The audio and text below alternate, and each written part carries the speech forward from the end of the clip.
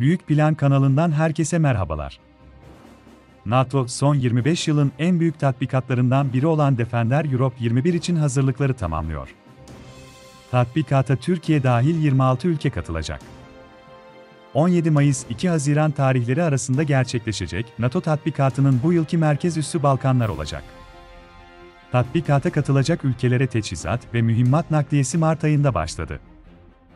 Tatbikat kapsamında Amerika Birleşik Devletleri savaş uçakları, Yunanistan-Türkiye sınırına iniş yaptı.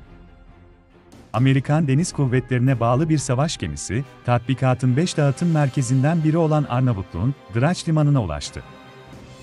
Bir İngiliz savaş gemisinin de çok yakında limana ulaşacağı açıklandı.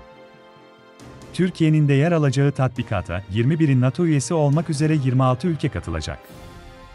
Tatbikat, 28 bin askerin katılımıyla 12 ülkede gerçekleştirilecek.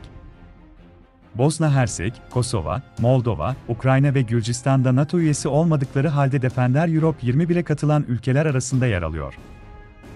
Amerika Birleşik Devletleri öncülüğündeki tatbikat, Rusya'ya karşı bir gözdağı olarak nitelendiriliyor.